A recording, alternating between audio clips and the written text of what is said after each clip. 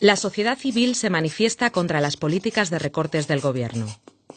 El gobierno, en lugar de atender las demandas de la sociedad, busca protegerse a sí mismo con una agenda de reformas que restringen nuestros derechos y libertades y reducen nuestras garantías como ciudadanos ante la justicia.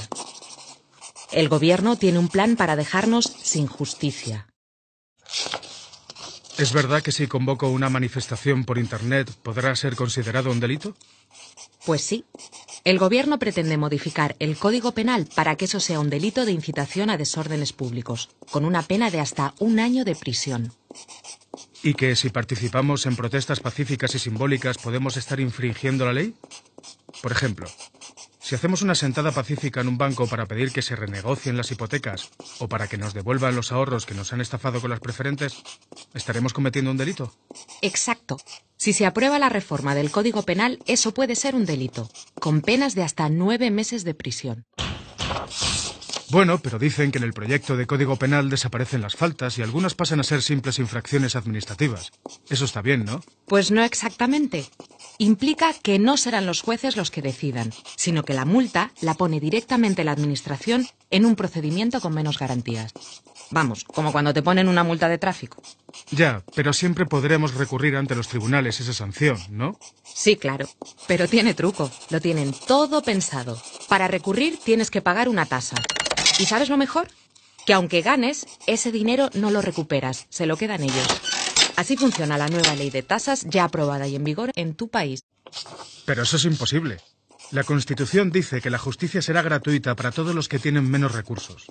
Sí, pero van a reformar la ley de justicia gratuita de manera que deje fuera a la mayor parte de la sociedad.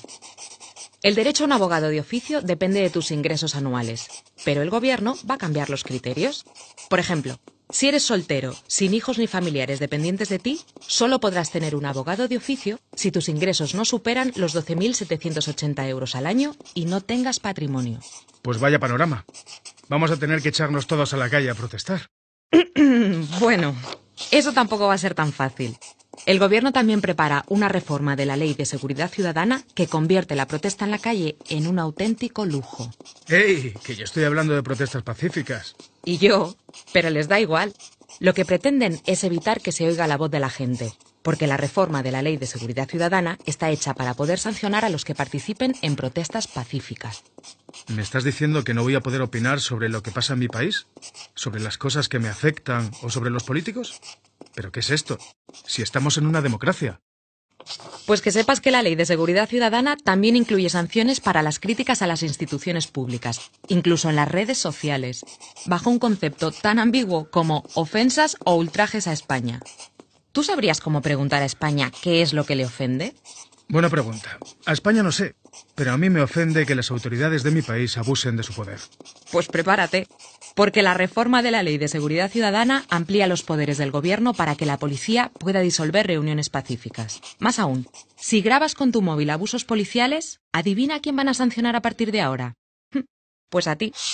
Bueno, pero por más obstáculos que pongan, siempre podemos organizarnos. Hay asociaciones, ONGs, organizaciones de derechos humanos que pueden denunciar estos abusos. Ya, pero es que también han pensado en eso. Van a limitar hasta casi eliminar la acusación popular, que es la forma con la que hasta ahora las asociaciones de derechos humanos o las ONGs participaban en los juicios. Pero al menos los fiscales podrán seguir acusando. Claro, claro. Pero el problema es que los fiscales no son independientes, dependen del fiscal general del Estado, y este lo nombra el gobierno. Precisamente por eso quieren que sean los fiscales y no los jueces de instrucción los que se encarguen de la investigación de los delitos. Además, también han pensado en introducir el principio de oportunidad para que los fiscales tengan el monopolio de poder decidir si es oportuno o no ponerse a investigar según qué cosas. Los jueces van a protestar por esto y por todo lo demás. De hecho, algunas asociaciones de jueces ya han sido muy críticas.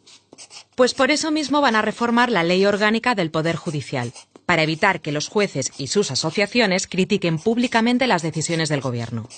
Además, no les van a quedar fuerzas. Van a estar mucho más ocupados de lo que ya están ahora que se han eliminado unos 1.200 jueces sustitutos. Entonces tendremos que hacer algo. Están desmantelando nuestro Estado de Derecho. Este es su plan. El nuestro es defenderlo. No queremos que nos dejen sin justicia. Depende de todos nosotros impedirlo. Empecemos por informarnos. Informa a los tuyos.